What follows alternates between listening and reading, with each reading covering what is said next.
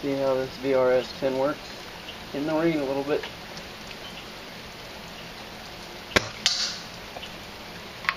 This is the VRS Snow uh, VRS 10.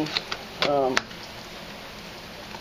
been upgraded with a uh, new spring guide, new spring piston and everything else, all metal.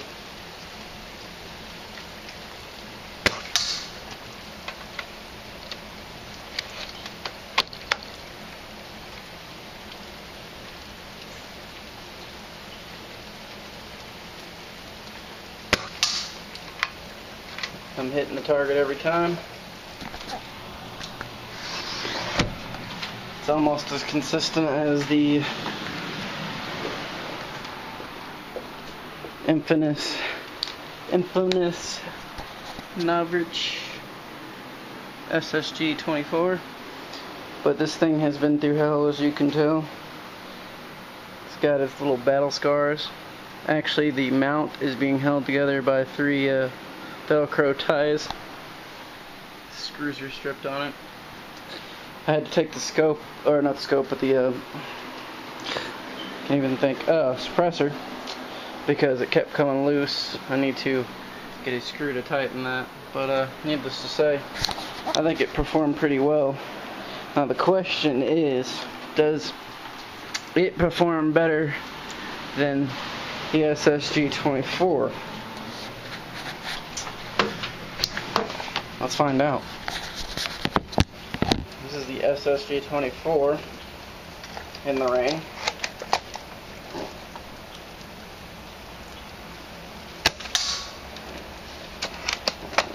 So far, the SSG24 has, uh, that was my bad aiming, has a lot smoother shot to it. It's a lot more flux compared to the VRS 10 where you shoot it it kind of it doesn't coast as well. I guess it's because the full air pressure uh, being able to uh,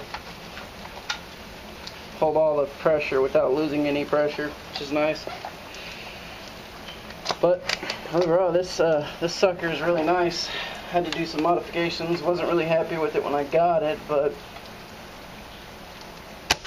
did a little work on it. And as you can tell, this thing's pretty accurate. And if I zoom in here, I don't think you can really see it too well, but I'm going to attempt to get a good view on it.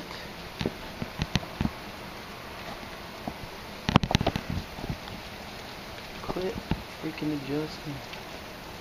There it goes.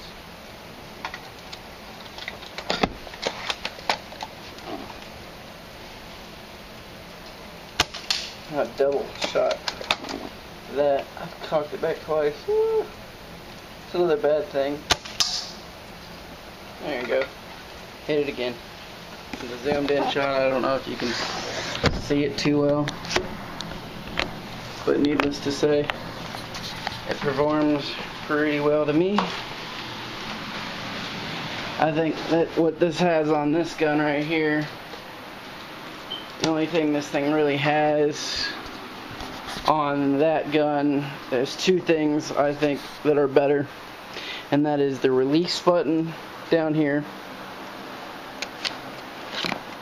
In my other video, it cut off when I was talking about that, but uh, I'm going to go reiterate that. Um, you can see the BBs through this, which is nice, so you can see how many rounds you have left. I like the folding type the way it folds in. It's really nice. It holds the pressure on it the entire time.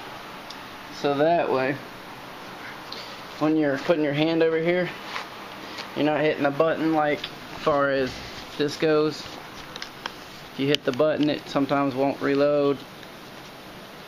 You have to push it in, it'll misload.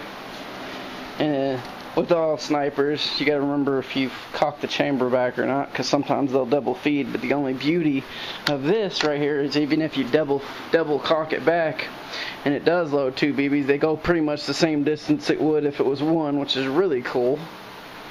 I mean, maybe a little drag, but compared to this, when you shoot two BBs, it, it doesn't go very far. But even with the 500 upgraded spring, the uh, that gun has got some accuracy to it. It is pretty much almost as accurate as the Novritsch. The only plus side to the Novritsch is the fact that you don't have to worry where you put your hands on it. You can put it anywhere without messing with the mag. You have a awesome hop-up system. This hop-up system is a lot harder to move around versus this one. This one can easily be bumped. Like you could easily move it with your hand. This one's real sturdy. That um, fluted barrel is just beautiful. I just I gotta point that out. It's just this is beautiful the way it runs. The other cool thing about the SSG24 is since it is 100% air sealed, the it, the thing shoots a lot consistent, a lot more consistent. Like if you've got a 500 FP spring, it's gonna shoot 500 consistently, which is really nice. But uh, other than the uh, issue I had when I had it, what I had similar issue I had was with this. This had a similar issue is where I took it apart one time and I screwed in the uh, trigger assembly too far and it went up into the uh, bolt and I couldn't pull it back. Well, when I got this, this, this one I didn't even take it apart and it was that trigger assembly was screwed in too far and uh, needless to say, it was ca causing the bolt to have a little bit of like drag and you couldn't hardly pull it back it was grinding a little bit. I don't know. It could have been customs that took it apart. Who knows? I don't know. Either way, my stuff, like I said, my springs, my, uh, like this was underneath my, uh, padding, and this was right here. This was underneath the padding. I, I didn't even know it came with it at first, and uh, I was kind of mad because it didn't come with it. I thought I was like, I ordered that, but you know how that goes. Found it later on underneath. The packaging was in there, but it was empty, so it looked like it had been rifled through. Either way, needless to say, I fixed all the issues I had with it, and it works like a beauty. Like the thing is easy to pull back now. It's a dream come true, man. I've been waiting for this for far too long. I haven't yet to get to, I haven't got to shoot these. And if anybody has shot the Novritsch 4.6, uh, 0.46 gram BBs, I definitely would like some feedback on those. Other than that, um, if you do get the Novritsch, I do recommend this specific pouch. It is very, very awesome in the aspect. I've got six mags one in the gun, and this is really nice because they fit in here just beautifully. And as you can tell, all five mags fit in there just perfect. They're snug, they don't shake around, you don't have to worry about them falling out. Real beautiful, easy, easy access, easy to change. And then you've got your six mag here, and if you need more than six mags, there's something wrong with your sniping skills.